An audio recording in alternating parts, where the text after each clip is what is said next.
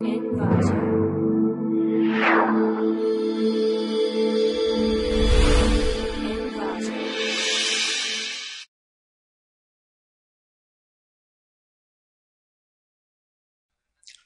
to clickmyproject.com.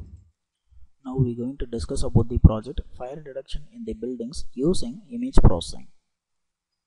We're going to discuss about the abstract of the process. In this process, we present an approach that involves the use of k-means clustering algorithm with the k nearest neighbor and then the efficient supervised learning algorithm that extract the patterns as well as detect the trends that are hidden in the complex data.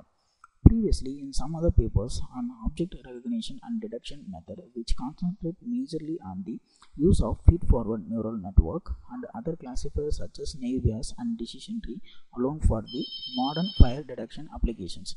But in our proposed systems, we are concentrate in the combining of k-means with knn and then extract the other method features like color and textures in order to improve the detection rate of event detections applications.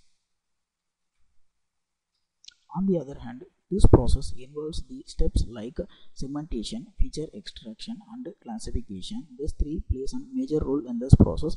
In this segmentation process, the clustering is applied to clusters the fire region from the background region.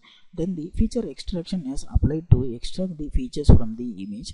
Then finally, classification report will generate the report as whether the fire has occurred or not. Then finally, the process of the overall process is performed by using the accuracy, sensitivity and specificity. Now we are going to discuss about the flow diagram of the process. This is the overall working flow of this process.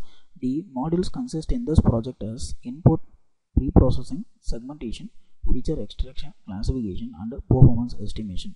First of all, the input is taken from the dataset image. The dataset image consists of both the fire image as well as the non-fire images. So we have to get any one image from the dataset.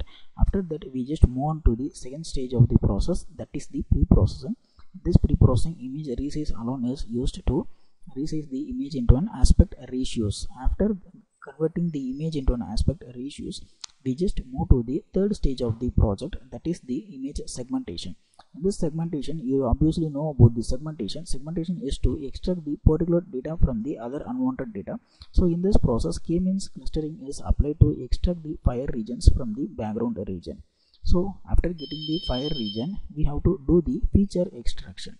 So in this feature extraction we have two kinds of feature extraction is there. One is based on the color based feature extraction then the another one is based on the texture based feature extraction the color based feature extraction is applied by using the histogram algorithm that is the histogram of oriented gradients HOG then the texture based feature is extracted by means of the algorithm Gabor feature extraction method. After extracting these two features these two features are combined together to generate the test feature.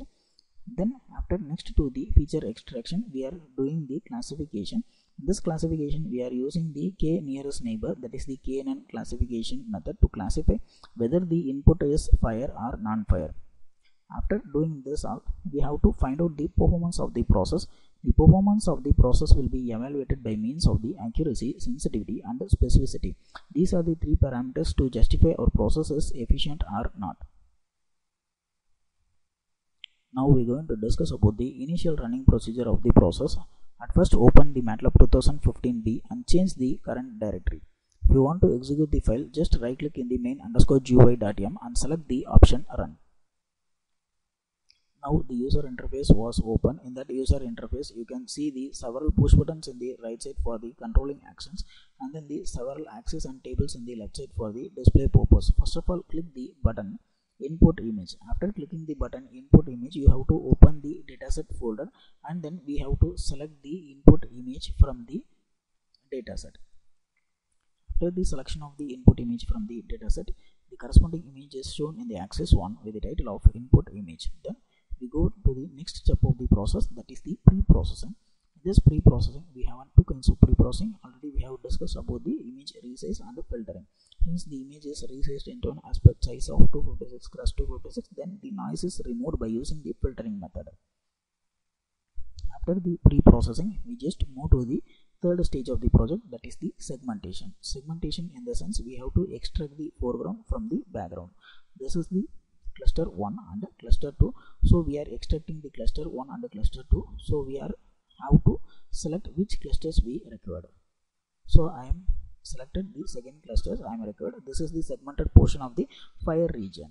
After that we have to extract the features from that fire regions then click the button feature extraction. Now the HOG plotter will be looking like this. Then the corresponding values of that histogram will be shown in this table.